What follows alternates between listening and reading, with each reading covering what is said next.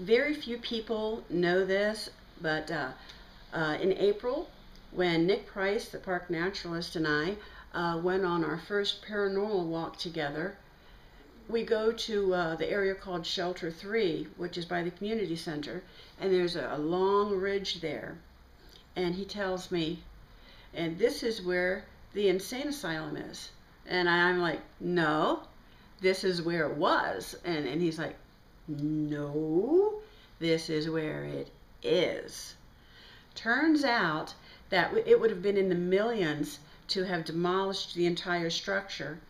So they demolished the uh, upper floors. It was a huge castle-like structure. Structure. It looked like a castle. It was long. It was tall. Gables, turrets. You know, beautiful, beautiful building. Um, too beautiful of a building for such horrific things to have occurred there, but but there you have it. Nonetheless, it did. Uh, anyway, he says that um, there was asbestos in the ceiling of the basement, so it would have been too costly. It would have been something like $2 million for them to demolish that, so they left the basement and the flooring of the first floor there and merely put fill dirt over it. When we get heavy rains, even to this date, uh, oftentimes things will come to the surface. It will be plates, pieces of plate, uh, bed frames, uh, hospital equipment, you name it. A fork, you know, all kinds of different things.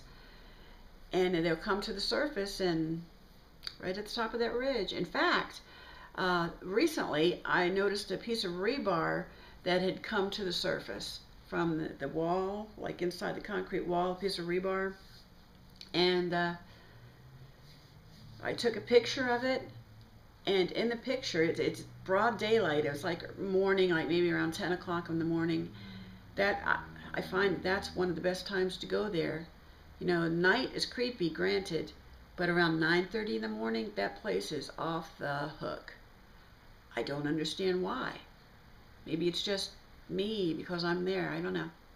But uh, anyway, um, I take a picture about 10 o'clock in the morning of this piece of rebar right at the top of that ridge, and there's an orb in it, a bright orb. I mean, orbs are commonplace at haunted area, areas in the dark.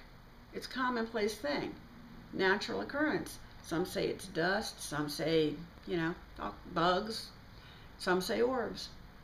But for an orb to appear in daylight, that's truly a remarkable experience.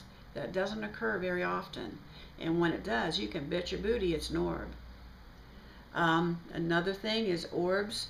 They don't appear on command, but when I go to Tom Sawyer Park and I ask the spirits to appear, orbs start appearing in my pictures. Not until I ask them to appear, then they appear. I don't know about you, dust does not appear on command.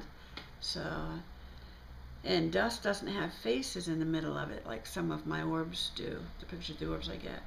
Anyway, little known fact.